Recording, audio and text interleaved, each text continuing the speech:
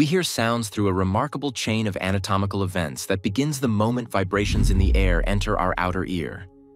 These vibrations travel down the ear canal and strike the eardrum, causing it to vibrate.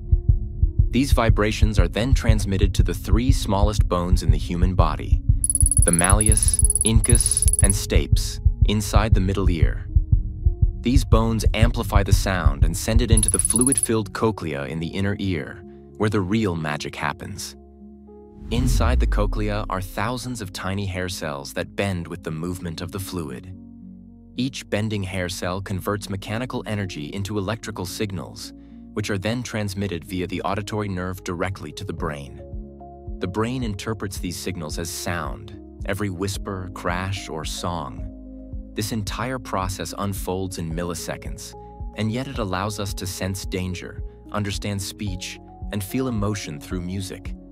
Hearing isn't just a sense, it's an intricate symphony of anatomy and electricity.